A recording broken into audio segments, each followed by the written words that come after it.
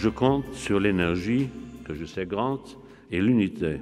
de toute la nation roumaine qui est essentielle, de toutes ses forces politiques, de toutes ses institutions pour que nous soyons en état de faire